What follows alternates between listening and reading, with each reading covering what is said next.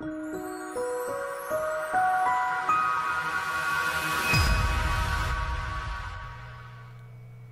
Sarah here with a layout process video for you today. Um, this is for the UK Scrap Addicts creative team.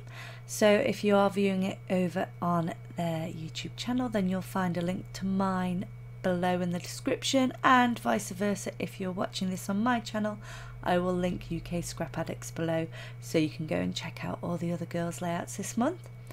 Uh, we're focused on small photos this month for the challenge.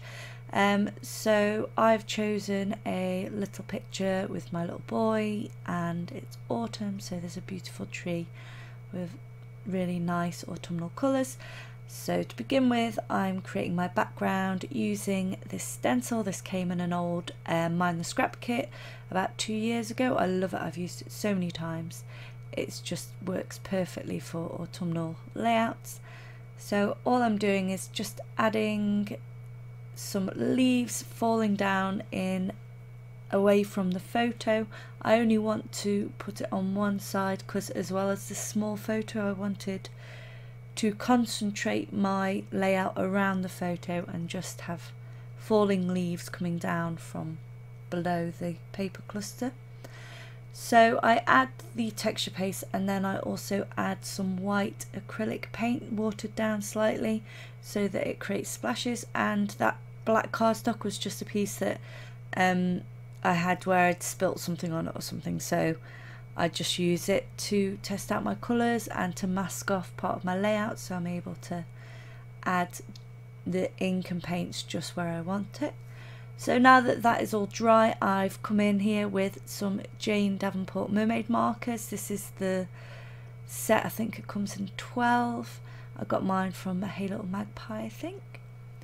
And I'm just adding three autumnal colours. I do layer up the paint over and over to try and build a bit more of a darker colour throughout it. And I do add a little bit of green at the end just to make sure that it ties in with my photograph because there is quite a lot of green grass on the actual photo. So I've just added in some more green there and now I'm moving on to my colour shine.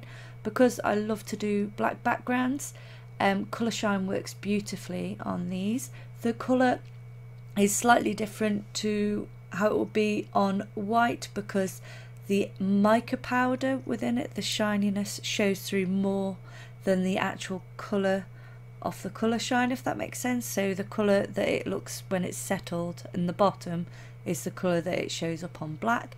And as you can see off to the side I can test out my colours and just add a splash on one side to stop me getting any really large blobs of the ink on my page because that tends to be quite sticky and it doesn't dry very well so now I've just stapled together some tissue paper that's I've had for probably about a decade and I've just added some staples to that just to hold it all together, all the layers together.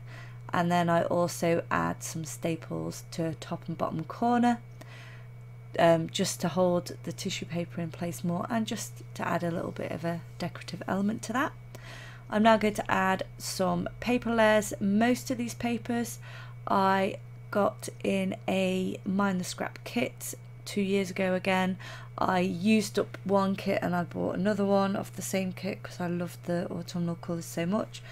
And so some of these are from that and then I just add a few other um, random uh, pattern papers that I happen to have in my stash to build up a bit of a paper cluster behind my photo. I am off camera because I didn't really manage to get any of it on camera. I've just used the scissors to ruffle all the edges to just give a bit of texture to the edge of my pattern paper as well.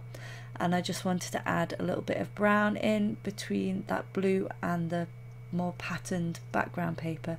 I just felt like it needed an extra bit of a block colour before I added it onto that um, one with the little nuts on it and I made sure that I painted my leaves in the colours that matched that pattern paper So I'm just using up some foam here. I had quite a lot of scraps so I'm just sort of piecing it together rather than using foam tape. This is just fun foam from Hobbycraft. It's really cheap.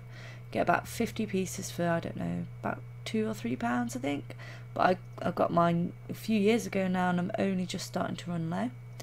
Um, I'm using a bit of washi there with little bunny rabbits on. I got it from a shop in York somewhere, can't remember exactly.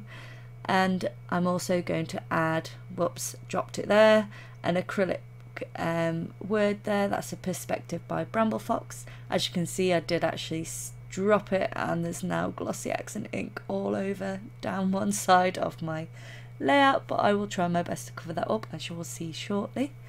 Um, I'm now dotting um, the, it's not glossy accents, it's the equivalent, the Nuvo, but it's exactly the same kind of product. Um, I add the sequins there and then in order to try and cover up some of the glue down the side I do add some extra splashes of colour over the top of it to help it blend in. So here I have some cute little stickers. These are by Mrs. Brimbles. Um, she designs, draws them herself, and then she um, sells them in her shop. So I've got some cute little autumnal characters there. I will link her shop. I'll link all the shops of the products that I've used today. And then I'm just adding a few enamel dots just to finish off the background there. And it's a bit of a close-up and that is me done. Thanks for joining me today. Do check out what everyone else is doing over at the UK Scrap Addicts um, Facebook group and check out the other designs in the blog and on YouTube. Everything will be linked below in the description. Have a great day, everyone, and see you next time. Bye.